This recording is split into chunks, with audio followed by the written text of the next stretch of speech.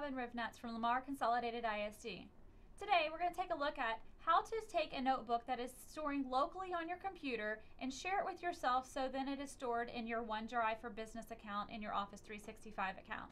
So to do so, um, you need to first have your OneNote open. So inside of my notebook, I have a notebook called My Notebook open right here, and currently this notebook is just living locally on my computer. It's not in my OneDrive, but that's where I want it to go.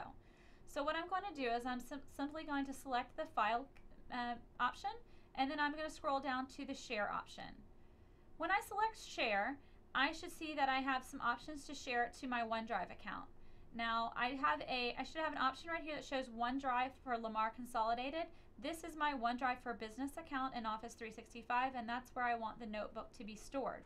So I'm going to select OneDrive at Lamar Consolidated and then I see that I actually see my Robin Rivnetz's OneDrive that shows up here. I'm going to go ahead and choose the Documents location because I want my notebook to be stored in my Documents folder on OneDrive. And when I do, um, I will see my documents window pop up and I'm just going to go ahead and say I want to name this notebook. I'll just go ahead and keep it the same name, my notebook, and then I'm going to choose the move option. So once I do that, OneNote will pop up a box that says it's syncing my changes and then once it's all done, it pops up another little box that says that my notebook is now syncing to that new location.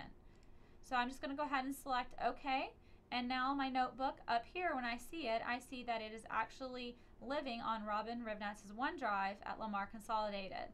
So now I am able to go ahead and access this notebook from anywhere on any device, not just on this local machine. Um, if you need help actually sharing any of your OneNote notebooks, this video should do it for you, or you can contact your CITS for more information. Thanks.